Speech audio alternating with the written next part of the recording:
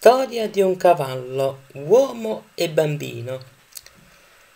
Un giorno un uomo con il suo bambino stava camminando per mezzo alla via con un solo cavallo.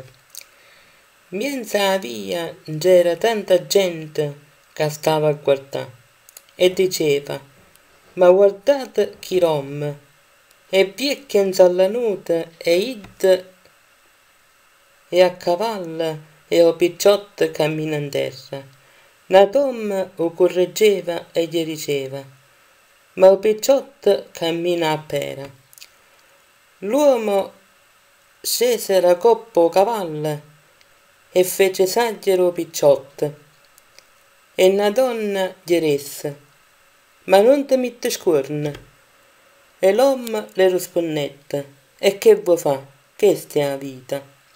E così L'uomo e lo picciotto jettene tutte e due in coppa o cavallo. Ma non gli disse, ma non stancato cavallo. E così si fece coraggio e rispondette, ma fatevi i cazzi vostri.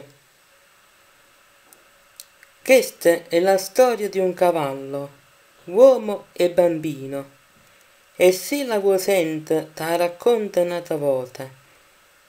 E perché mi hai raccontato sta storiella? Ma domani e te rispondo. Perché non c'è nessuno che si faccia i cazzi suoi